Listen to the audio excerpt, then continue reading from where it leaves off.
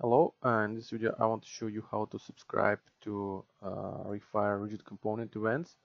There are two types of events, it's demolition and activation events and every event also uh, divided in two types. First one is global event and local event and global event means that you will subscribe, if you will subscribe to global event, any demolition of any rigid component will invoke subscribe uh, methods and local event means that you can subscribe to specific RayFire rigid component demolition. So just to show you how it works, so here's my object. And as you can see, it has this demolition event script. So this is just, just basically just a tutorial script. You don't have to use it. Uh, you can use, you can subscribe in your own way, but I will use it just to show you how to subscribe. And you can find it in uh, tutorial scripts folder so first thing you need to do is to use RayFire namespace. This is important step. If you will not use it, you will not be able to subscribe. As you can see now, it has no idea what RayFire component, has no idea what all these classes means. So this is the first thing and most important. Uh, now you can see that I have here my public boolean. Global subscription means that I want this uh, script to subscribe to global which means any demolition of any rigid component. And the, the next uh, second type is local subscription, means that I want to subscribe to some specific rigid component. So, and this is how I define it, which means like here my two rocks, which will be demolished later. And as you can see, I specify this rock to this uh, rock means I want to check if it will be demolished and if it will be demolished uh, my subscribed methods will be invoked. So mm, first I will turn on this global subscription and as you can see uh, just as it usually happens I will subscribe on enable and unsubscribe in on disable. So here my uh, global subscription and to subscribe to global uh, demolition event, you need to use this ref demolition event class. And then it's this is global event, this is static field. And using uh, plus equal operator, you subscribe. I'm subscribing my global method. Here you can see my two methods, local and global methods. So in this case, I subscribe my global method to this RayFire demolition ref demolition event dot global event. It should have uh, void return type and RayFire rigid component as input parameter.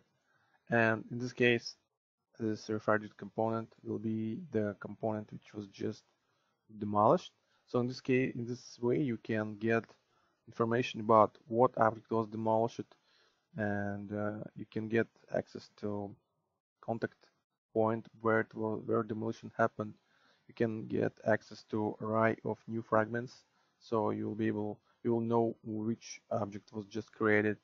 And uh, well in this case as you can see I have my uh, transform of the subject I want to uh, move it at the position of demolition so this is the global event. And this is my global method which I'm using to subscribe which I'm subscribing so now if I will start play mode, you will see that uh, when demolition happen, it just move, just uh, jump to contact uh, position. So I can create more rocks.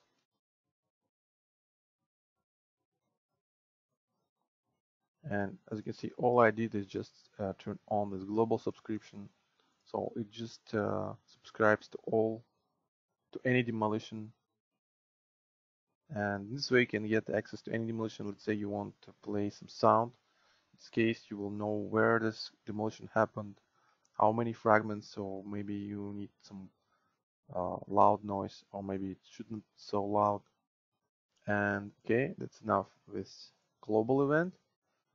And uh, next one is local subscription. In this case I will subscribe to this rock 2 you can uh, define any rigid component you want. But I will subscribe this one. So this is how you can do this. I will disable it. And well, maybe I want to subscribe to this rock.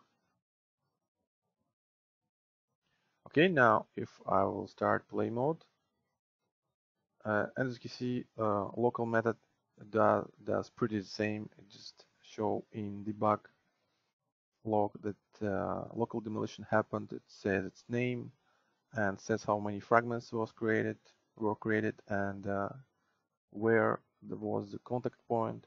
It also moves uh, object to contact point.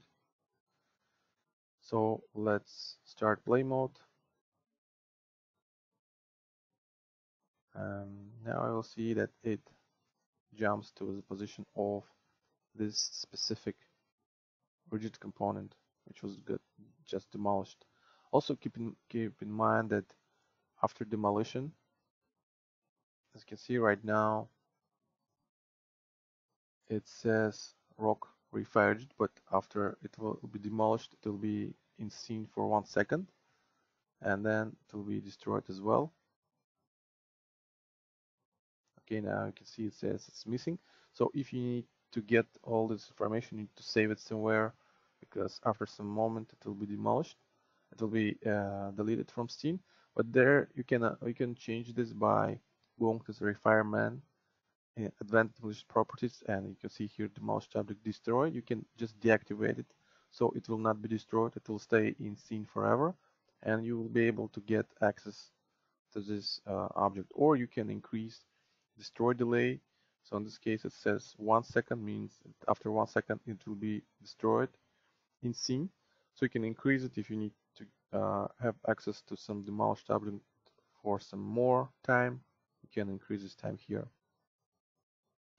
And uh, also in the same way you can uh, subscribe to activation event and it works pretty the same way. The only difference that uh, this is a global event for activation and in this case I also use instead of uh, demolition event I am subscribing to activation event and then local event. So uh, well this is how uh, subscription works in for a 5 component and uh, hope this will help you thank you for watching